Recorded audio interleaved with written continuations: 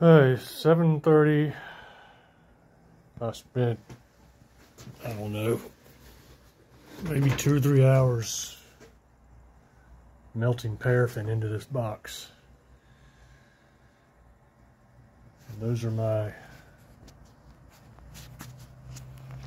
pocket door hardware that I mounted.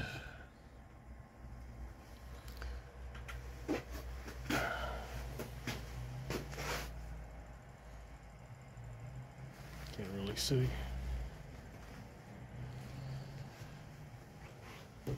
But the way it's supposed to work.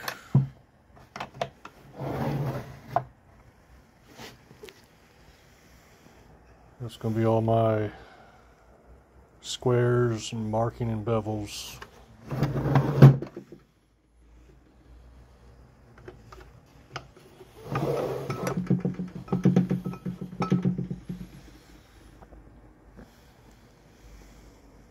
My planes.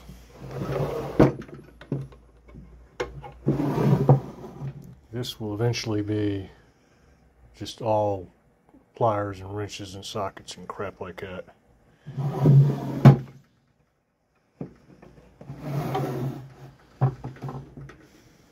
This is going to be saws and files. I'm going to make another till, like a pull-out tray for some rasp individual files. I might actually reverse it. I might put the rasp and stuff in the bottom, put the saws above it because I go to those more. Last one's going to be all bits and drivers.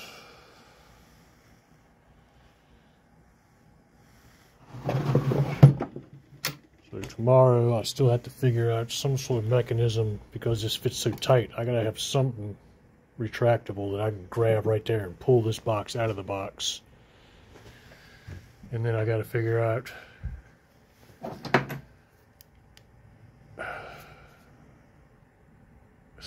I gotta put some kind of chest handles on the side that are collapsible as well.